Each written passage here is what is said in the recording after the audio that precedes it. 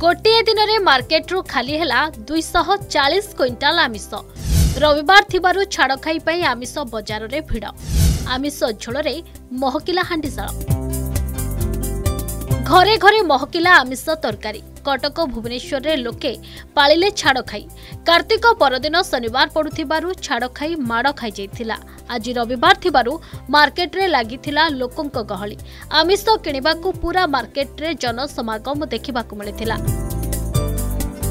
ଦାମ ଟିକେ ଚଢ଼ା ଥିଲେ ବି ଛାଡ଼ ଖାଇ ପାଳିବାକୁ ଲୋକେ ଘରକୁ ଆମିଷ କିଣି ନେଇଥିଲେ। ଦେଶୀ ଖାସି ଚିକେନ ସାଙ୍ଗକୁ ରୋହି ଇଲିସି କଙ୍କଡ଼ା ବାଗଦା ଚିଙ୍ଗୁଡିର ରହିଥିଲା ଅଲଗା ଚାହିଦା।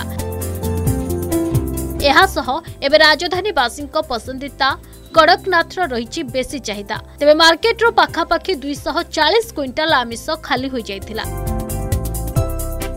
ଲୋକ ଅଛୁ ଏଇ ଦୁଇଶହ ଲୋକ ଭିତରେ ଯେଉଁ ଲୋକ ପଚାଶ କିଲୋ ମାଛ ବିକ୍ରି କରିବା କଥା ଯେହେତୁ ଛାଡ଼ ଖାଇ ସେ ଶହେ କିଲୋ ଆଣିଛି। ବୁଝିପାରିଲେ? ଶହେ କିଲୋ ଆଣିଛି ତେଣୁ ସେ ଭାଗ୍ୟ ଉପରେ ନିର୍ଭର ଶହେ କିଲୋ ଯାକ ସେଲ୍ ହେଇପାରୁଛି ନା ଷାଠିଏ କି ସତୁରି କିଲୋ ସେଲ୍ ହେଉଛି ସେଇଟା ବାରଟା ବେଳକୁ ଜଣାପଡ଼ିବ କିନ୍ତୁ ଆପଣ ଆଶା ରଖିଛନ୍ତି ଭଲ ବ୍ୟବସାୟ ହବ? ଆଶା ରଖା ହେଇଛି ଭଲ ସେ ହେବ। ଛାଡ଼ ଖାଇଲେ ବର୍ଷକର ଗୋଟେ ଦିନ ନିଶ୍ଚିନ୍ତ ଆଶା ରଖିଛୁ। ଗୋଟେ ମାସ ପରେ ସେଥିରେ ଲୋକଙ୍କର ଗୋଟେ ଏକ୍ସାଇଟମେଣ୍ଟ ଅଛି ଆମେ ମାଛ ଖାଇବୁ କି ମଟନ୍ ଖାଇବୁ କି ଚିକେନ୍ ଖାଇବୁ ସେଥିଲାଗି ଆଜି ବହୁତ ଗହଳି ମାର୍କେଟରେ କିନ୍ତୁ ବେପାରୀମାନେ ବହୁତ ଭଲ ସେମାନେ କୋପରେଟ୍ କରୁଛନ୍ତି ଲୋକଙ୍କୁ ହେଲ୍ପ କରୁଛନ୍ତି। ଶନିବାର କାଲି ପଡ଼ିଗଲା ଛାଡ଼ ଖାଇଟା ଠିକ୍ ସେ କରିହେଲାନି। ତ ଆଜି ଉତ୍ସାହ ସହିତ ଆସିଛି। ଟିକେ ଆମିଷ କିଣିବୁ। ଆଉ ମେରିକାଳି ମାଛ ମୁଁ ଦେଖିଲି ମେରିକାଳି ମାଛ ଭଲ ରେଟ୍ ବି ଅଛି। ଅଢ଼େଇଶହ ଟଙ୍କା ଭିତରେ କିଲୋ ମିଳିଲା। ଆଉ ଚୁଙ୍ଗୁଡ଼ି ଚାରିଶହ ଚାଳିଶ ଟଙ୍କା କହୁଛନ୍ତି। ଠିକ୍ ଅଛି ଚଳିବ। ମାସେ ଯାକ ସେମାନଙ୍କର ବି କିଛି ଏତେ ବେପାର ହେଇନଥିଲା।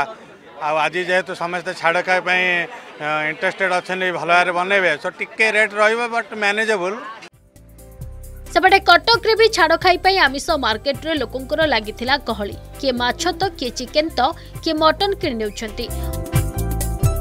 ଅନ୍ୟ ଦିନ ଅପେକ୍ଷା ଆଜି ଆମିଷ ଦର ଟିକେ ଉଚ୍ଚା ରହିଛି। ରୋହି କିଲୋ ଶହେ ଷାଠିଏ ଥିବାବେଳେ ଭାକୁର କିଲୋ ଦୁଇଶହ କୋଡ଼ିଏ ଟଙ୍କା ଚିକେନ କିଲୋ ଦୁଇଶହ ଏବଂ ମଟନ୍ କିଲୋ ଛଅଶହ ପଚାଶ ଟଙ୍କା ରହିଛି। ମାଛ ଚିକେନ ଅପେକ୍ଷା ମଟନ୍ ନେବା ପାଇଁ ଲୋକେ ଆଗ୍ରହୀ ହେଉଥିବା ବେଳେ ମାଛ ଦୋକାନୀ ଛାଡ଼ ଖାଇରେ ନିରାଶ ହୋଇଛନ୍ତି। ଯାହା ଆଶା ଥିଲା ତାଠାରୁ ଯଥେଷ୍ଟ କମ୍ ବ୍ୟବସାୟ ହୋଇଥିବା କହିଛନ୍ତି ଆମିଷ ଦୋକାନୀ କାଲି ତ ଶନିବାର ପଡ଼ିଲା କାଲି ଶନିବାର ଆମେ ଖାଉନା ଆଚ୍ଛା ଜିଅନ୍ତାନି ଏ ଆଜି ରବିବାର ରବିବାର ବହୁତ ଲୋକ ଖାଆନ୍ତିନି କିନ୍ତୁ ଆମେମାନେ କେତେ ଜଣ ସବୁ ଖାଉ ଯେଉଁମାନେ ଖାଆନ୍ତି ଆଜି ଛାଡ଼ ଖାଲି ସେମାନେ ପାଳନ କରନ୍ତି ଏ କିଏ ମାଛ ମାଂସ ଏସବୁ ନେଇକିନି ସେ ତାଙ୍କ ଘରେ ତାଙ୍କ ସବୁ ଖାଆନ୍ତି ଏସବୁ କରନ୍ତି ହଁ ନିଶ୍ଚିନ୍ତ ଭାବେ ଟିକେ ବାଧୁଛି କିନ୍ତୁ ତ ପଚାଶ ଶହେ ଟଙ୍କା ଅଧିକା ରହିଛି।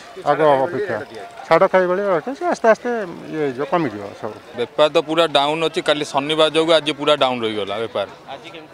ଆଜି ବଜାର ପୁରା ଡାଉନ୍ ମାନେ ଏତେ ଖାସ୍ ନାହିଁ ରବିବାର ଅଛି କିନ୍ତୁ କାଲି ଯେଉଁ ଡବଲ ବାର ପଡ଼ିଗଲା ଶନିବାର ରବିବାର ଶନିବାର ଯୋଗୁଁ ରବିବାର ପୁରା ମାଡ଼ ଖାଇଗଲା ଆଜି ବେପାର। ତାପରେ ମଟନ୍ ଚିକେନ୍ ବେପାର ଚାଲିଛି।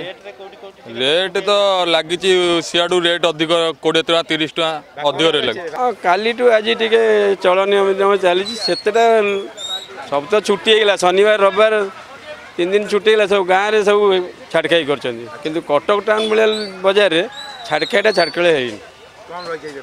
କମ୍ ପୁରା କମ୍ ବେପାର ଆଉ। ଆଶା ବହୁତ ଥିଲା କିନ୍ତୁ ପୁରା ନିରାଶ।